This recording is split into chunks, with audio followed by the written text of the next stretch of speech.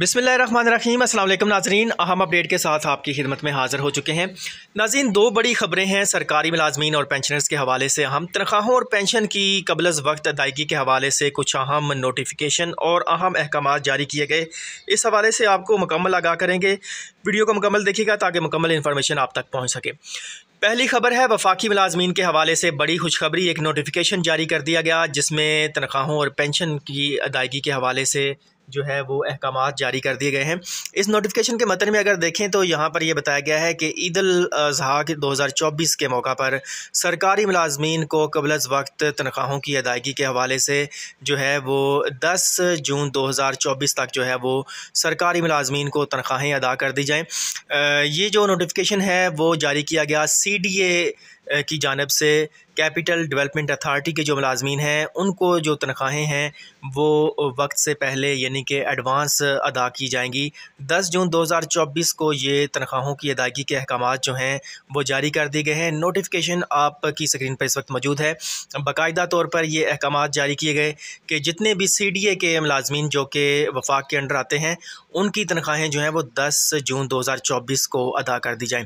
دوسری جانب اگر دیکھا جائے تو پنجاب کے ملازمین اور پینشنرز کے لیے بھی بہت اچھی خبر ہے کہ پنجاب میں جو ہے وہ حکومت پنجاب کا یہ موقف سامنے آیا ہے کہ عید قربان یعنی کہ عید الاضحیٰ کے موقع پر سرکاری ملازمین کی تنخواہیں جو ہیں وہ تیرہ جون دو ہزار چوبیس تک ادا کر دی جائیں۔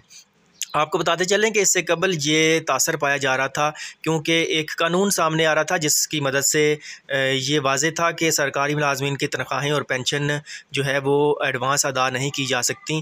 رول کے مطابق اگر عید الفطر یا عید الاضحیٰ کا کوئی ایونٹ جو ہے وہ مہینے کے آخری دنوں میں آ رہا ہو تو پھر جو ہے وہ سرکاری ملازمین کی تنخواہیں اور پینشن رولز کے مطابق جو ہے وہ ادا کی جا سکتی ہیں۔